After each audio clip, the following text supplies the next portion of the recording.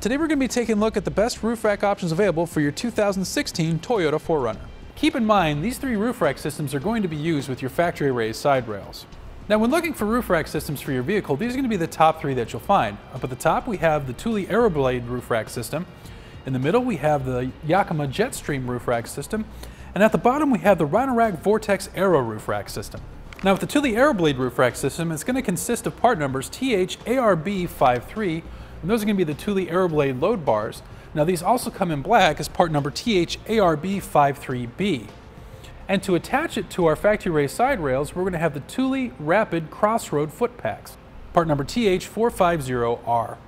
Now with the Yakima, the part numbers are going to be part number Y00425, these are the 50 inch long Jetstream bars. Now these also come in silver as part number Y00428.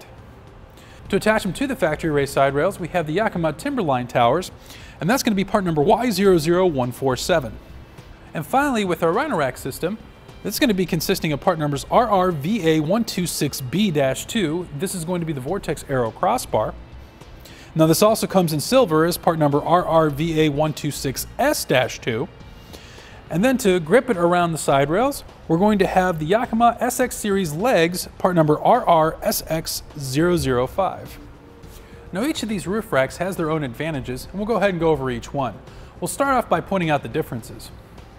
Now looking at these three roof racks, the main difference right now is going to be how they actually attach to the roof rack.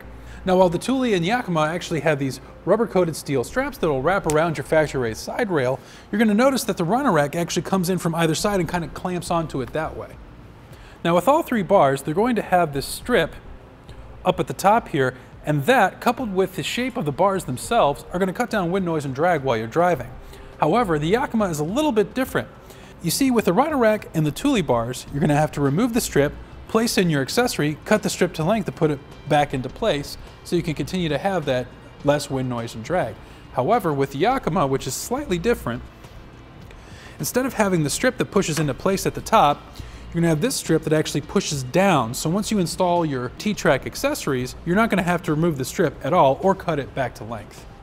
Now with the Thule and the Yakima, we have these knockouts here, which can be removed and replaced with lock core systems from their respective companies.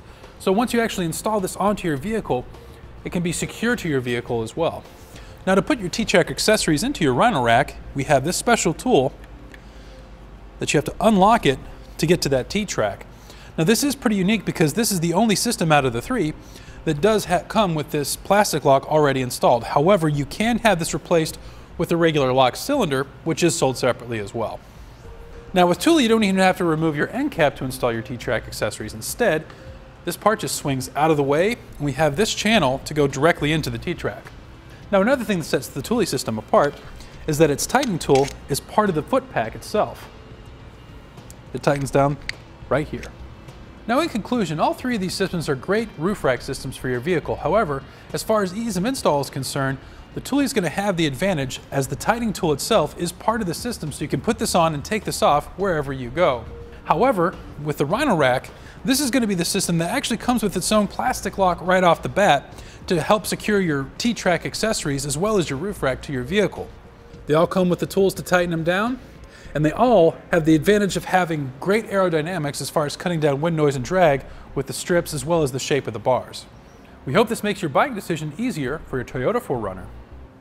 Click the link below to shop, learn more, or visit us at eTrailer.com.